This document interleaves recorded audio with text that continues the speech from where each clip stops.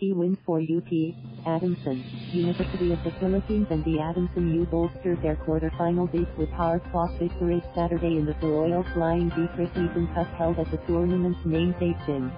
The Maroons held off a late charge by the Centro Escolar University Scorpions to 4 to 68 to 62 victory while Adamson held off tough Letran, 89 to 85. Will Gozum and Bride of gave UP control of the match and Lufus Maodo to the basket that cast a run past the Scorpions, within 63 to 62, 120 remaining. But James Spencer knocked down the huge triple with 25 seconds remaining to give UP a 66 to 62 lead and lose to the win.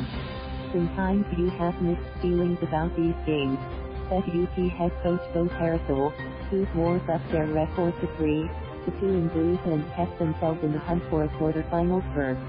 You don't want it to be close, but sometimes, you develop character, especially with the guys we have right now. They find a way to win with the changing complexion of the game.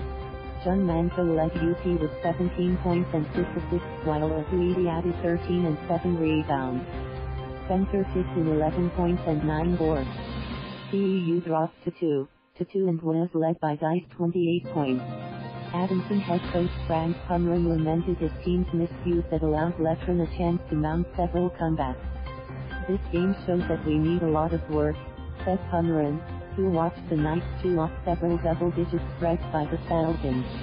There were several instances where we could break the game left square bracket but we did not right square bracket and this is a sign that we are a very young team.